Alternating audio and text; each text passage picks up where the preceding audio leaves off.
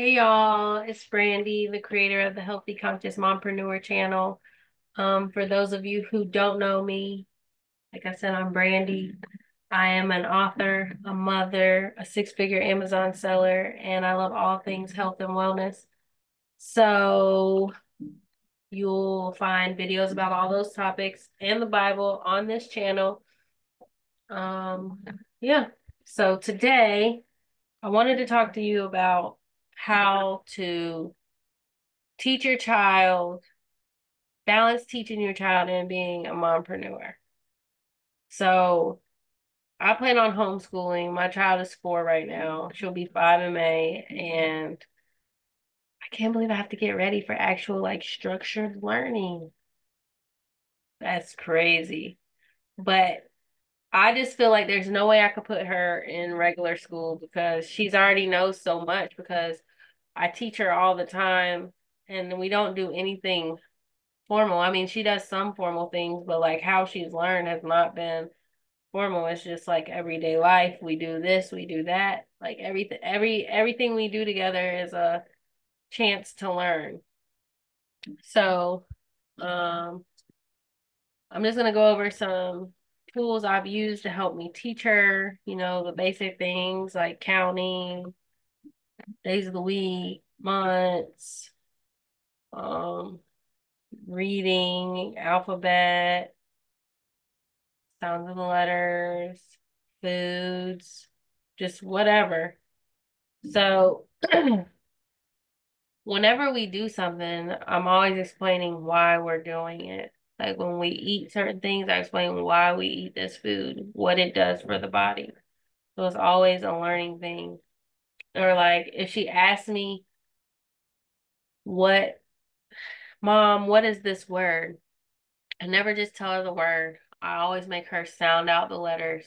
Whether she sounds it out and she gets the word, that's one thing. If she doesn't, whatever. But I like her practicing the sounds. Like I don't just tell her things, I make her think about things.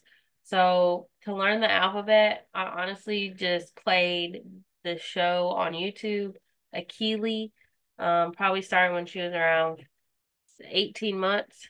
It's the only thing I used to let her listen to was Akili, and all they did was the letters and the numbers over and over and over and over and over and over.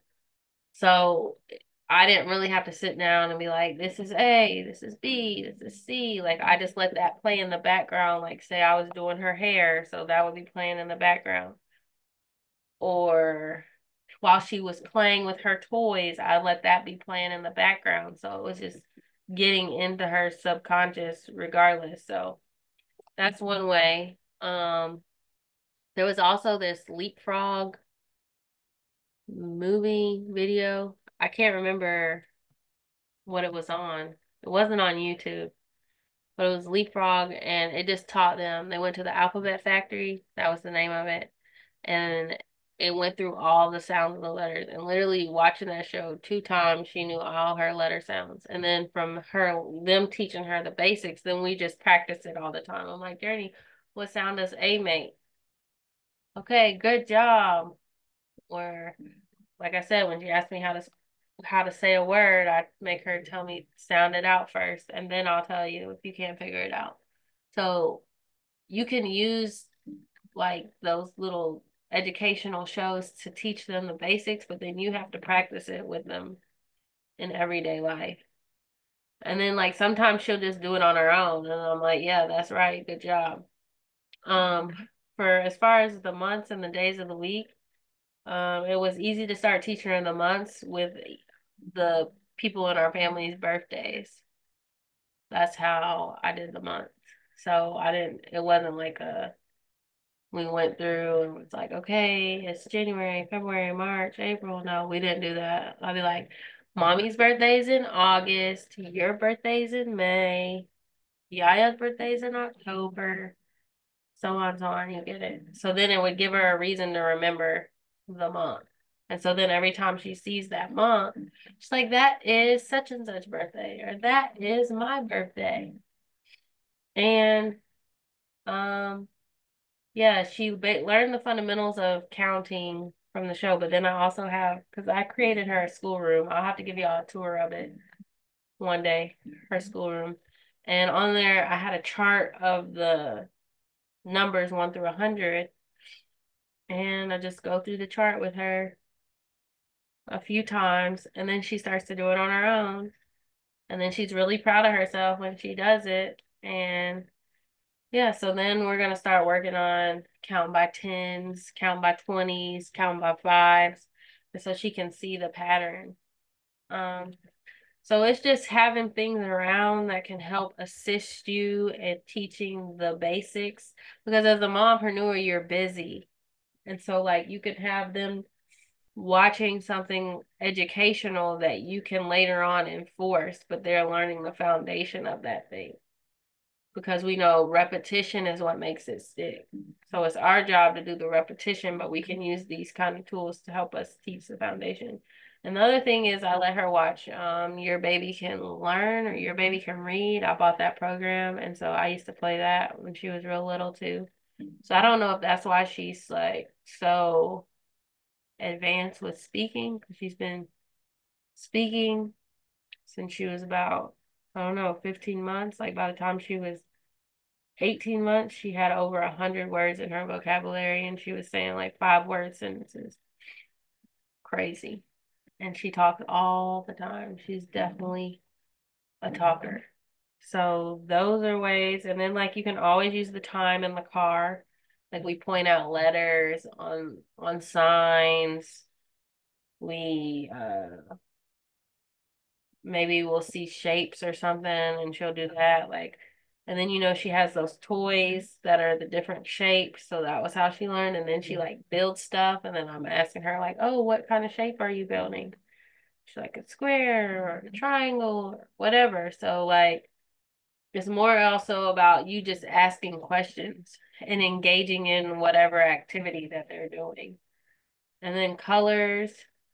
I just be like, what color is the grass? Green. What color is the sky? Blue what color are our eyes? Brown. So like she's just constantly having to think about these things and then she notices these things in her environment and then eventually she tells me and then I'm just confirming or correcting. Um yeah, so it's like you have to be prepared with activities for them to do while you're working that are just as beneficial to them as it would be if you could just sit down and devote all your time because like I said, as a mompreneur, especially if you do not have a support system, you're gonna have to have other things help supporting you. Maybe you can afford to have a tutor or something like that. If you can, then cool. But if you can't, these are some of the things I've done. And YouTube has definitely been a great resource. I have the paid version specifically so I know she doesn't have to see the ads and she's only watching what I want her to watch on there because I don't trust it, to say the least. And then there's different educational shows that I've let her watch, like Leapfrog, like I said, and uh, My Baby Can Read. And that's those are like, and then the Akili, those are like been the only educational things I watch. I let her watch some documentaries too, like on um the animals mainly. Yeah. But um and then she has her schoolroom, so there's lots of activities I have in there. I have to give you a tour of it and then we could go over how I use those things on a on a basis to help. But in general, have some things that your child can watch on YouTube that then you can later go back in and reinforce what they learned. Uh, make sure you go over it first yourself before you just blindly let them watch it. And yeah, that's all it is. It's about just having just winging it almost because like life is a learning thing. Like it doesn't have to be, you know, sit down and do this. Yes, I mean, she's starting having interest in learning how to read. So yes, I have to make time to sit down and read the books. But I bought those little starter books off of Temu. And they're actually really good. She's doing really good with those. Um, maybe I'll post a video of her reading her book. But I never learned phonics. I learned reading by sight words, so I'm trying to teach her phonics, which is mm-hmm. kind of hard because I don't even know the phonics myself, honestly. Like I mm-hmm. don't, I know the words, but like I don't know the have the phonetic understanding behind it for me to be able to teach it to her.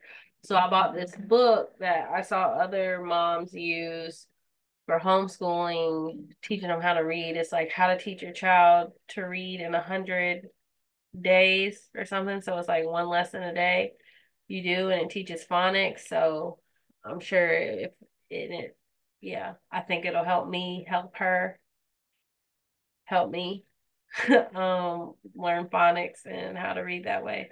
So we're gonna start that. Maybe y'all start it in the summer. I don't know. Right now she's been working on math and I buy those little workbooks that they have in the dollar section at Target. Um, they have subtraction, addition, multiplication, all that stuff. I mean, she had flashcards. We didn't really do the flashcards, even though I had them. I didn't really do them.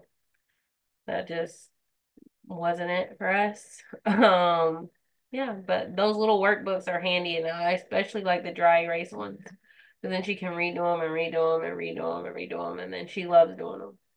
And they keep her busy for a while. The only thing is, I have to make sure she stays focused and doesn't use that marker anywhere else. Because she is a child. And she will get bright ideas that aren't so bright. So if y'all have anything that you use to help you teach your child as being a mompreneur and you were trying to be a homeschool mom, let me know in the comments. Um, comment below if you want me to give you a tour of the schoolroom that I created for her. Like the video, share the video, subscribe to the channel. Um, thank you for watching. Um, check out some of my other videos about different parenting tips I gave or Amazon business if you're thinking about starting an Amazon store, which I highly recommend for stay-at-home moms.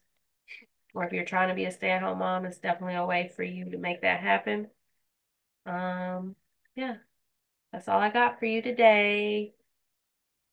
Until next time, bye.